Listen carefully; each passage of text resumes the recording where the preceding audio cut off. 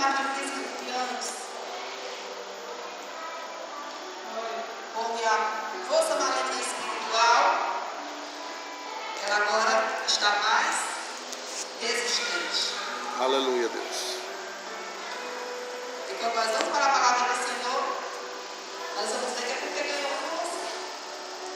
Por isso piorou a situação. Por isso que está da